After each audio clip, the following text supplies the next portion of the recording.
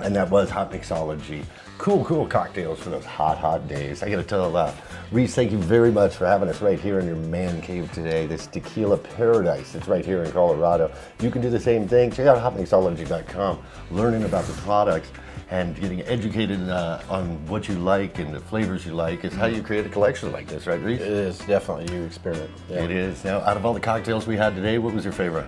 Dave, look around. I can never make a decision on one. They were all great, all fantastic. Clearly, clearly remember all the recipes. All the fun is on hotmixology.com. Sign up to be a member because we're going to do something really fun with some of these different tequilas that Reese has here and some of the experiences for all the viewers to check out. So I want you to uh, sign up as a member right there. Check us out on Facebook, on YouTube, on everything else uh, that is Hot Mixology. Now, I mixed us up something as the grill's heating up. We're about to put those steaks on, and I mixed us up a cocktail right here using my tequila, Muchoté Tequila, my twin brother and myself, which is aged seven months in uh, Jack Daniels barrels. And uh, it's about the simple bottle and what's inside of the bottle.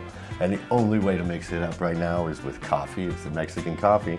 And of course, I topped it off with a little bit of RumChata. Remember when we were in Jalisco at the taco carts, that horchata we had? Oh, yeah. The Delicious. rum, right? I mean, it's the true flavors of that, uh, the rum, dairy, um, the spices. into takes me huh? back. It does, doesn't it? yeah. And this is the perfect cocktail, and I'm calling it simply the Reese Mexican Coffee. Huh? Name the cocktail after you. Gracias. Watch Hot Mixology and watch every week. Salud, everybody. Salud.